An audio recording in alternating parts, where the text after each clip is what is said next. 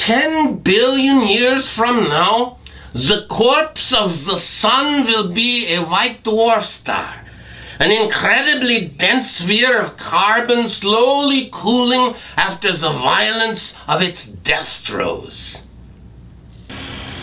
As I told you back in episode 5, the burned out remnant of our once great sun will be roughly the size of the Earth and will retain about half the sun's original mass. It'll be so dense that a teaspoon of this material will weigh several tons. But like any ancient corpse, nothing remains of the vital processes that fueled its exuberant youth. The nuclear reactions that supported it against its own furious gravity ceased eons ago. But that leaves us with a question. What fights that gravity now? After all, the gravity is still there, relentlessly trying to pull that white dwarf in on itself. Back when it was a true star, it was the heat of the nuclear reactions that resisted that pull. But what's resisting it now? Something must be, otherwise it would collapse. You might be thinking that the answer is obvious. It's made of carbon. Carbon is solid. It's the solid carbon that's resisting all that gravity. But if that's what you were thinking, you're wrong.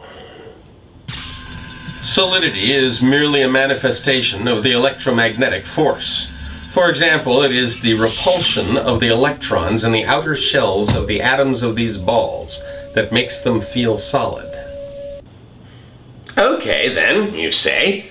It's the repulsion of the electrons in the outer shells of the carbon atoms that resists the gravitational onslaught. But no. You see, the carbon atoms in a white dwarf star have no electrons of their own. The temperatures at the time that the white dwarf star formed were far too high to allow normal atoms to exist. Indeed, this is a characteristic that the white dwarf inherited from its parent star. The temperatures in the core are so high that the electrons and protons are moving too fast to stick together.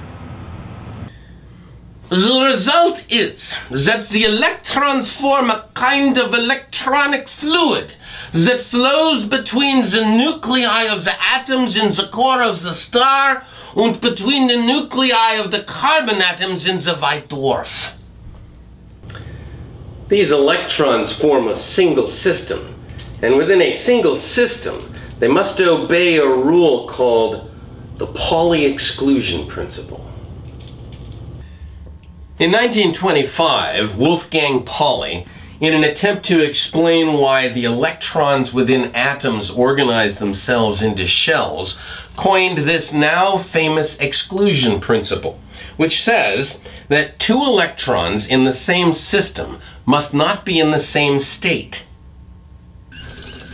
The state of an electron can only differ in two ways, spin and energy. There are only two spins, left and right. But there are many different possible energies. Since the electronic fluid in a white dwarf star can have up to 10 to the 57th electrons within it, the electrons will arrange themselves into 10 to the 57th different energy levels. 10 to the 57th? That's a big number. Some of those electrons must have very high energies. The higher the energy of an electron, the faster that electron moves. Since there are so many electrons in a white dwarf star, some of those electrons must be moving very fast indeed. And that velocity creates a pressure, and that pressure resists gravity. Isn't that weird?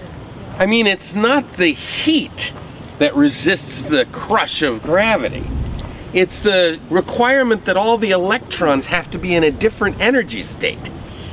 Cool. The pressure of electrons trapped in different energy states by the Pauli exclusion principle is known as the pressure of degeneracy.